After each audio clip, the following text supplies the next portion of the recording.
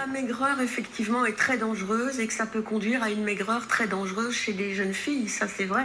Vous, je, je, suis, je trouve cette loi très bien.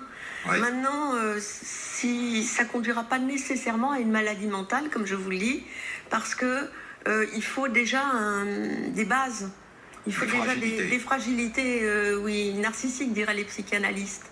C'est-à-dire de l'ordre d'un narcissisme de souffrance, pas d'un narcissisme de d'aimer soi. Au, fond, la maigreur ne devient anorexie que chez les gens qui ont des prédispositions.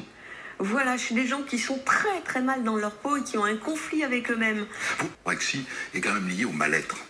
Tout à fait. C'était au mal-être intime. C'est quelque chose d'insupportable. C'est un peu comme l'alcoolique sans alcool ou le toxico sans bouffe, sans drogue. J'aime bien quand vous avez dit bouffe. ça me plaît, moi, ça. oui, c'est-à-dire qu'on a vraiment, on est tendu du matin au soir, on est, on est mal dans sa peau du matin au soir.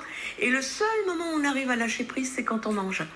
Est-ce qu'on tombe dans l'anorexie par la faute de quelqu'un d'autre ou est-ce qu'on est, soi-même prédisposé à ça? Non, c'est un facteur déclenchant. Le problème, le, besoin de devenir maigre et de faire un régime, c'est un facteur déclenchant qui, chez certaines jeunes filles, peuvent provoquer de l'anorexie morbide. Hmm. Euh, elle, avait des fragilités quand même, c'est-à-dire ça ne peut pas arriver à n'importe qui, ça. On les entend, ces fragilités, quand elle parle. Par exemple, elle a beaucoup de violence. Vous voyez, déjà, même en famille, avant de devenir mannequin, pour un filet d'huile, elle fait, elle, foire le repas.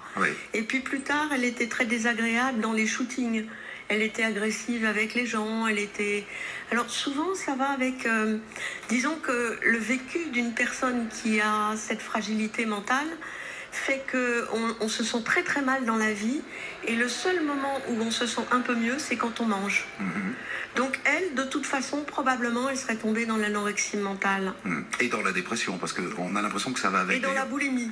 Et dans la, boulimie. Et la dépression va avec tout ça La dépression, j'ose pas me prononcer parce que j'ai vu beaucoup de gens qui n'étaient pas dans la dépression et qui avaient un problème d'anorexie, boulimie. Mm.